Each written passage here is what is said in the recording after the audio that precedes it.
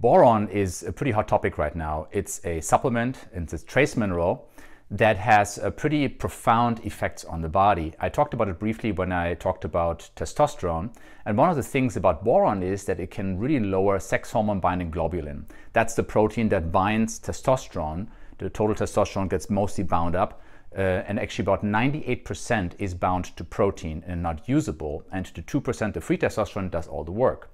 So boron can significantly decrease this sex hormone binding globulin, thereby highly increasing the rate of free testosterone.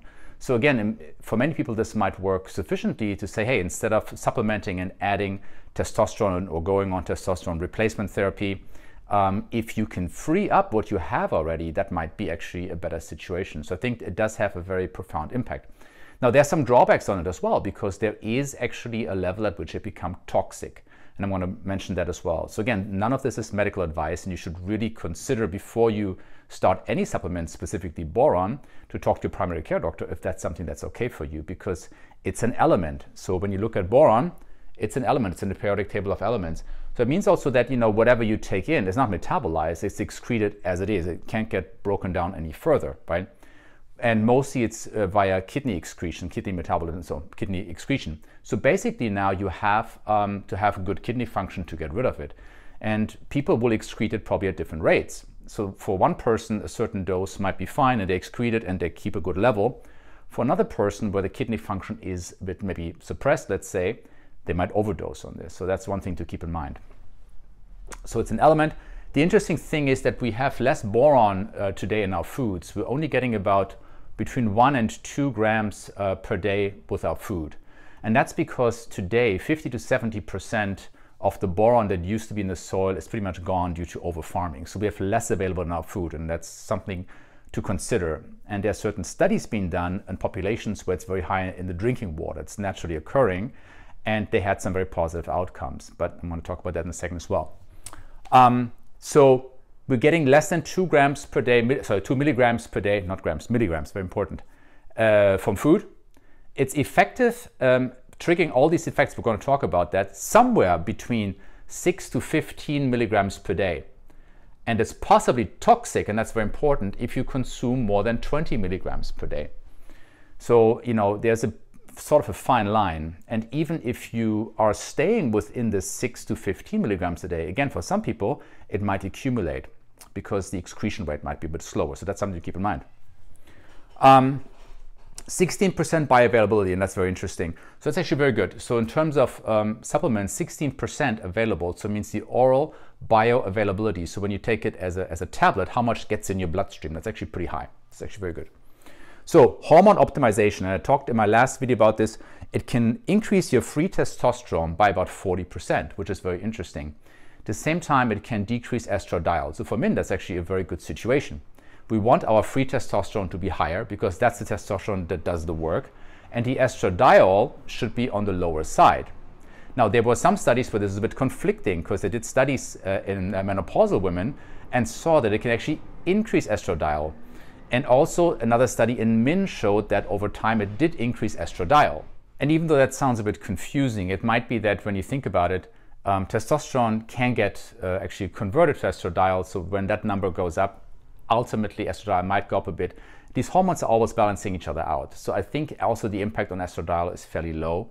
Um, I think again, it's a very good one for hormonal purposes. I think it works extremely well, and I don't think there are any real drawbacks, uh, even when you look at all these studies and the different levels that were found. Okay, then cancer protection, that's a pretty big one. And um, it can significantly decrease the risk of certain cancers, you know, uh, prostate, breast, cervical, and lung cancers. And they looked at epidemiological studies where you had populations that had a very high boron content in their drinking water, for example. And they were consuming about six to seven milligrams per day naturally. So again, usually between one to two milligrams, the average about 1.5 milligrams we get from normal food these days because our soil has been depleted. Now they got a lot more and certain rates of cancers were much, much lower. Now we can always say, look, this is a correlation, but correlation doesn't always equal causation. But because when you look at it, when all the other factors are taken into consideration, they were very equal to other populations with a lower boron consumptions and they still had those benefits. So I think there's really something to that. So yes, cancer protection is something that I think is very, very um, likely that boron has, and that's actually a, a fantastic finding. Um, anti-inflammatory, very highly anti-inflammatory. So when we look at inflammatory factors like C-reactive protein, tumor necrosis factor alpha, those have been uh, decreased when people were consuming boron, and that's very interesting. Again, within the therapeutic range, of course. And then it would increase the um, superoxide dismutase and glutathione peroxidase. And that's actually very important as well. So it does kind of have this shift where the um, anti-inflammatory compounds were increased and the pro-inflammatory, the bad compounds were decreased. So it has a very strong anti-inflammatory effect. And that's one reason why it's used in arthritis. You know, a lot of people are considering using uh, boron or boron containing products in arthritis treatment. It's still fairly new and I think there, uh, there needs to be a lot more studies on this specifically in that field, but this seems at least very promising. Brain function, and that's an important one, improves concentration, memory, and cognitive performance that has been studied. So that's something that you know a lot of people experience when they're taking it. This is a bit harder to quantify, of course.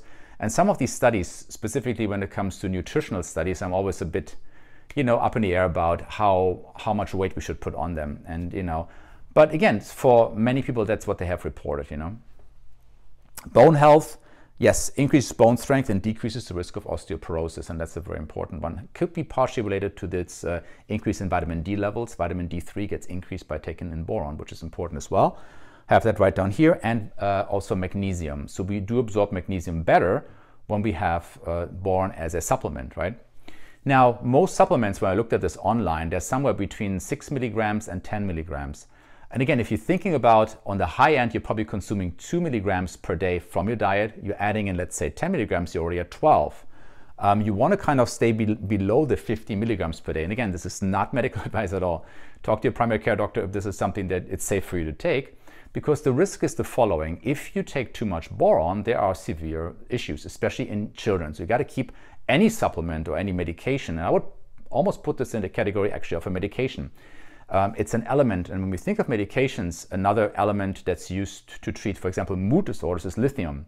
So lithium is also an element, and same situation. You know, uh, you excrete it via your kidneys, and if kidney function is is suppressed, there could be issues with lithium toxicity. And same with boron. So boron can be very useful. I think it's uh, hugely beneficial at the right dose. But overdosing is very dangerous, and for young children, there have been fatalities. So there have been deaths documented, even at doses just above 6 milligrams, which seems fairly low. Now, I don't know if there were other things involved as well, but that's something to consider. So, for sure, this should never be given to children, especially young children. For adults, again, if we um, consume too much boron, if we overdose on this, what are the symptoms? The immediate symptoms would be uh, nausea, vomiting, headache, diarrhea. And um, then there could be a few others as well. You know, people feel dizzy, they feel, you know, concentration is weird and all that kind of stuff. So there could be some neurological effects as well. And that's something to keep in mind, you know. Now, um, there were some studies that showed you need to use for grown-ups a fairly high amount for this to become toxic.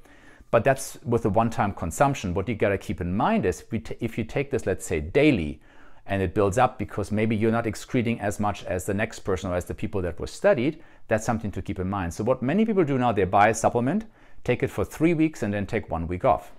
So boron is a supplement, um, again, this is just not a recommendation, but for all practical purposes, I started taking this. I started taking this um, about four weeks ago and I do feel um, a lot of benefits from it. Of course, I'm concerned uh, about it building up as well, so I will do um, the three weeks on and one week off. That's uh, what I've decided to do on this. But in terms of concentration, yes. In terms of you know uh, uh, muscle strength and, and muscle development, I think it does have a big impact on that. And in general, you know, when you look at all the other effects um, that have been studied, I think this can be very positive. Taking into consideration that really our minerals are really uh, decreasing in our food. Our food is kind of becoming deprived of very essential minerals and other uh, vitamins as well because again of over farming processing you know we have a lot of highly processed foods these days. So they don't they don't supply the same nutrients um, as we had many years ago.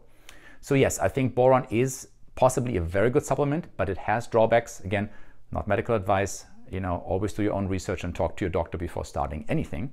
Certainly keep this if you get it out of reach of children.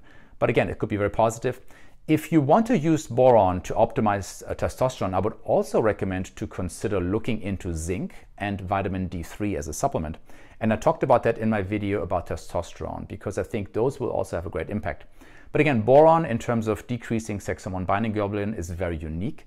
Um, you know, and again, the studies are very promising. And also, you know, it might be something if you're thinking about supplementing, uh, you know, hormones like testosterone, this might be something to consider first before you go that route. And I mentioned this last time. I think you know prescription of these hormones is overdone. I don't think uh, you know. Well, I think some people benefit from this, sure, but I think there's a great proportion of people that get prescribed testosterone without really needing it because you have enough testosterone in your body.